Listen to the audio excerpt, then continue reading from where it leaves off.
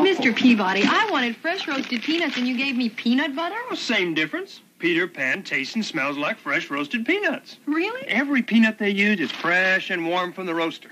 Here, taste these peanuts. Mmm. Now, Peter Pan. Mmm. Like fresh roasted peanuts. Better, you can't make a sandwich with peanuts. They roll off the bread. I'll take Peter Pan. Peter Pan's like fresh roasted peanuts you spread on bread.